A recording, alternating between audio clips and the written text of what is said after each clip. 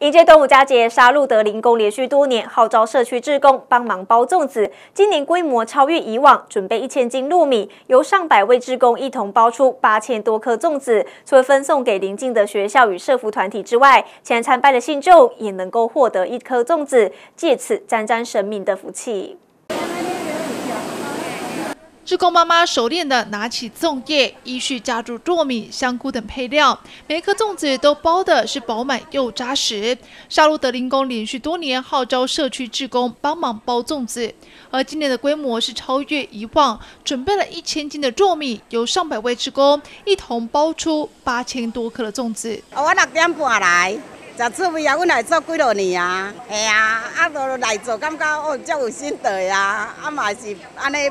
包这安尼，即个来试食，啊，即个来试食，感觉嘛足香的啊！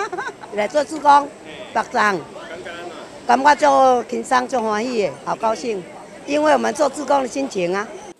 拥有百年历史的沙鹿德林宫主祀福德正神，是当地重要的信仰中心。而为了回馈乡里，庙方多年来都会举办包粽送弱势的活动。除了是分送给邻近的学校跟社福团体外，前来参拜的信众也都能够获得一颗粽子，借此来沾沾神明的福气。真好啊！来这拜拜，各有长人。去，真好啊！系啊，都。